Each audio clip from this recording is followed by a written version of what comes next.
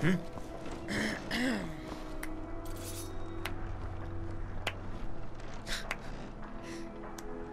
That man was, by far, the most insufferable decoy the Emperor has ever employed. I'm glad he's dead.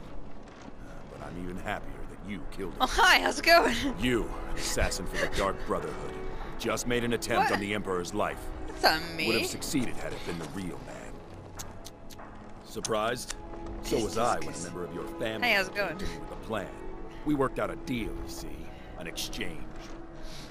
I get you, and the Dark Brotherhood gets to continue its can existence. have but you know me. what? I've changed my mind.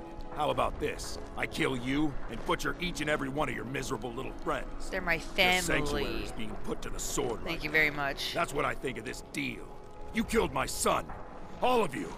And now you'll pay the price. I did it, not them. Kill her. And make sure there's nothing left to bury. Oh, Ooh, bitch! Uh. Get out the way!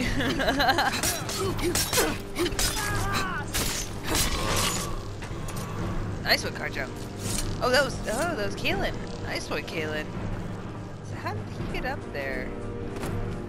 You know what? Who fucking cares?